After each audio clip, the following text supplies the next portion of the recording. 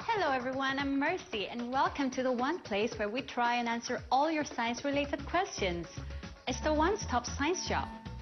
Excellent! Let's see who we can help today. It's Solomon from Thailand.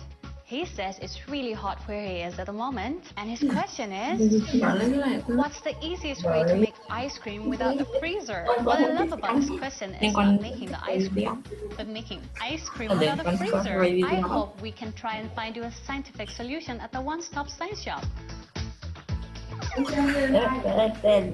Hiền đụng sát To make your own ice cream, you'll need some crushed ice, Ziploc bags, a jar, rock salt, some castor sugar, vanilla essence, and half and half, a mixture of half cream and half milk, gloves, and paper towels or tissues. Start by filling the jar with ice. Now add 6 tablespoons of rock salt to this. Make sure you use rock salt and not common salt. Now I'm gonna put the lid on, get my gloves on, Mày ha Mày and shake things up a bit. Nếu ở không ăn trong cái trong lúc học trực tuyến That was really cool. Now I'm gonna make the ice cream mixture. In the first Ziploc bag, I'm gonna add one tablespoon of castor sugar and half a teaspoon of vanilla essence. In goes half a cup of half and half.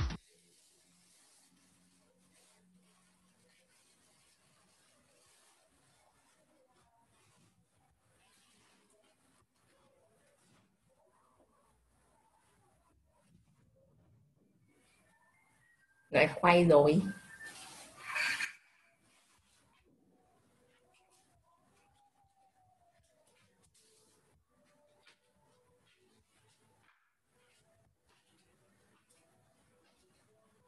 Anh chàng của CN Gì thế này? biến giấc mơ trở thành hướng dẫn viên du lịch giỏi nhất của Nathan thành sự thật.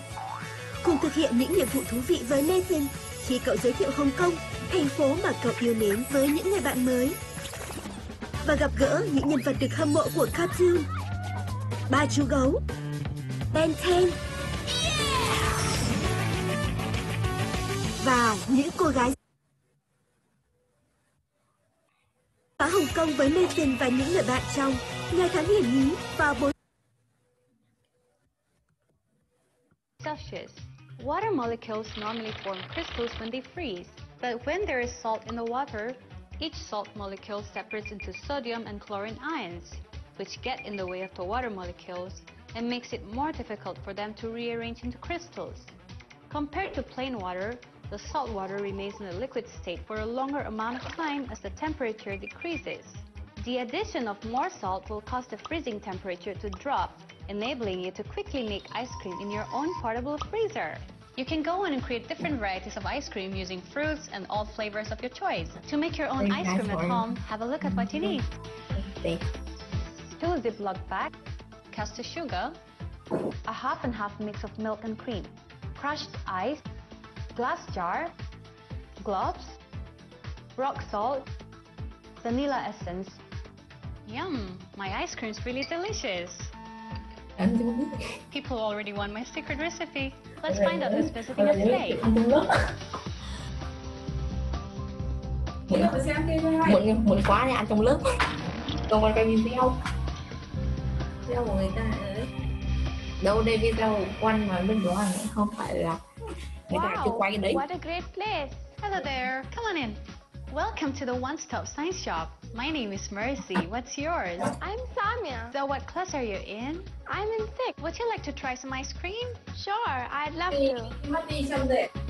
Không, ý quan đang quay video thôi How was it? It was yummy. Great. Mercy, did you know that the Roman Emperor Nero is credited with inventing ice cream? Oh, he commanded his slaves to bring snow down from the mountain, which was then used to freeze the flavored cream with fruits. I see you're quite foodie there. Well, that is one of the reasons I'm here today. I want to know what happens when food goes bad. I know it smells terrible, but what is really happening? That's a great question, Samia. I know just the perfect scientist who has done quite a lot of research in that field. Let's find out. You know what to do. This is Gloria Lim, a mycologist, an expert in the branch of biology that is concerned with the study of fungi, including their use to humans, such as food or antibiotics, as well as their dangers such as toxic poisoning. Born in Singapore in 1930, Lim went to a girls' school which did not teach sciences. Ah, but with a lot of self-study, she got into the University of Singapore to study plant botany and later continued her studies in Kuala Lumpur, London, and California.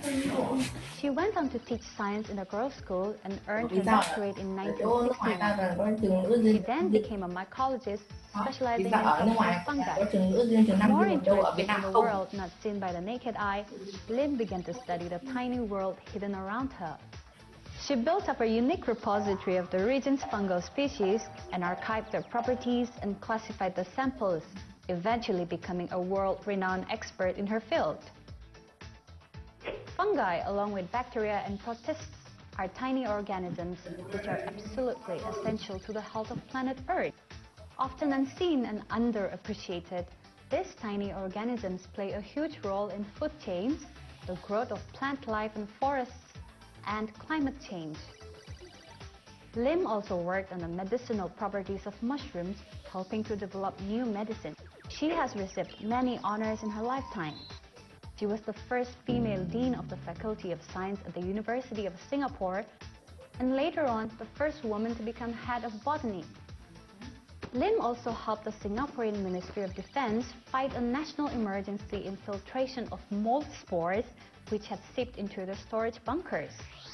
In 2014, she was one of the inaugural class of inductees into the Singapore's Women's Hall of Fame. Not bad for someone who has never taught any science at school.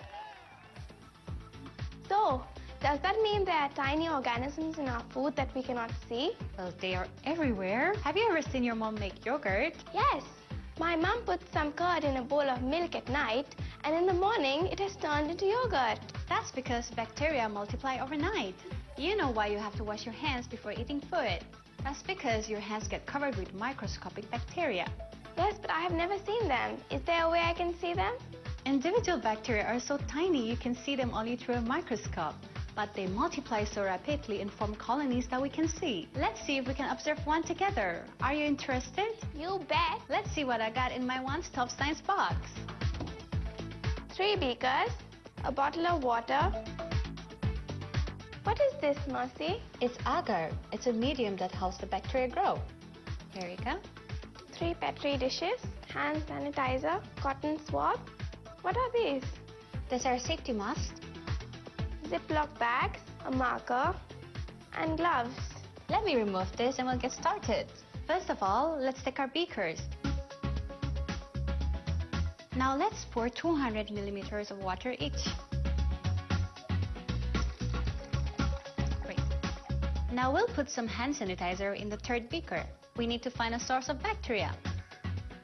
Samia, can you please open your mouth for me? I have bacteria in my mouth. We all do. Now we have three samples to test. The third one has hand sanitizer. Second one has the bacteria from my mouth. First one has plain water. But show me the bacteria. We have to wait for a bit. Let's prepare our petri dish. Now we're going to take the agar and we'll pour some into the petri dish enough to cover the entire petri dish. Now we'll put this aside and wait for it to solidify.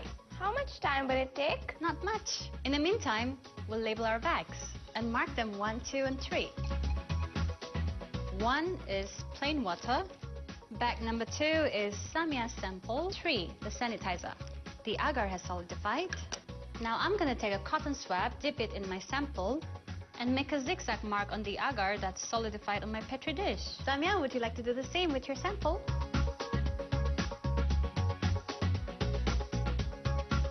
That's the one with the sanitizer. Now I'm gonna put the lid back on on the petri dishes and put them in the labeled Ziploc bags. So one goes in here. This ensures that there is no contamination. We have to put all these dishes in a dark room temperature place, say a closet. For how much time?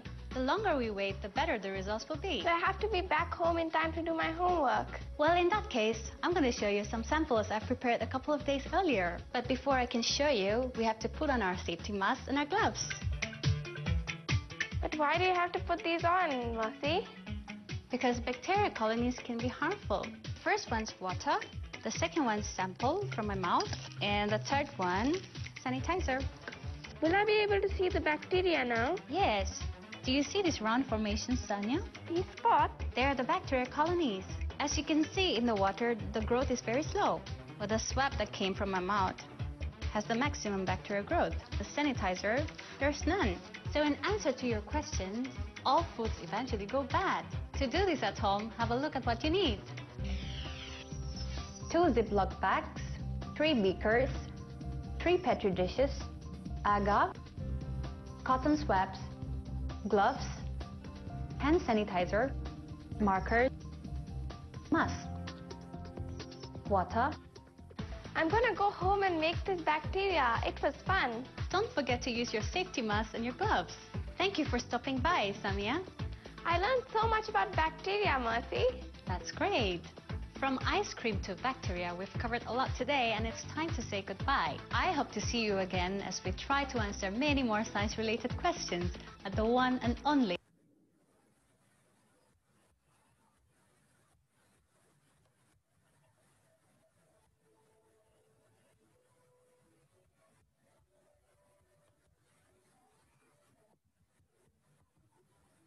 One Stop Science Shop.